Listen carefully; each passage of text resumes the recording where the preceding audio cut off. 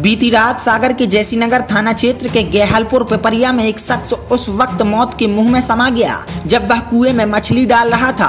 पैर फिसलने से युवक कुएँ में गिर गया। सूचना मिलने के बाद एसडीआरएफ टीम की मदद से युवक के सबको करीब दो घंटे की कड़ी मशक्कत के बाद कुएँ से बाहर निकाला गया।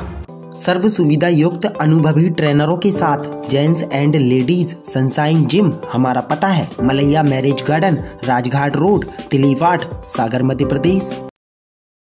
जानकारी कहती है कि जैसीनगर के ग्राम गेहलपुर पिपरिया का रहने वाला 26 वर्षीय शंकर पिता दौलतपुर कुर्मी सोमवार सुबह अचानक गुम हो गया था। परिजनों ने गाँव में शंकर की काफ़ी तलाश की तो पता चला कि शंकर बाल्टी में मछली लिए कुएँ की ओर गया था। इसके बाद परिजन ग्रामीणों के साथ तुरंत कुएँ पर पहुँचे, जिसके बाद उन्हें शक हुआ कि शंकर कुएँ में गिर गया है, लेकिन कुआ भरा होने के चलते लोगों ने कुएँ में उतरने की हिम्मत नहीं जुटाई। इसके बाद घटना की सूचना पुलिस को दी गई, जहाँ पुलिस और एस एसडीआरएफ टीम तुरंत मौके पर पहुँची।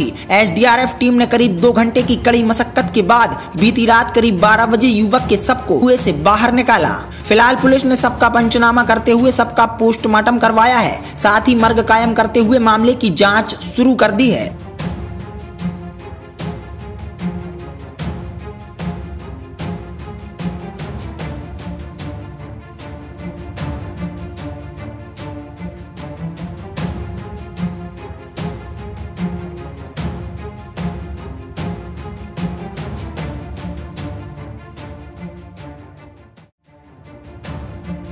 जैसी नगर से कुलदीप चौरसिया सागर एक्सप्रेस न्यूज़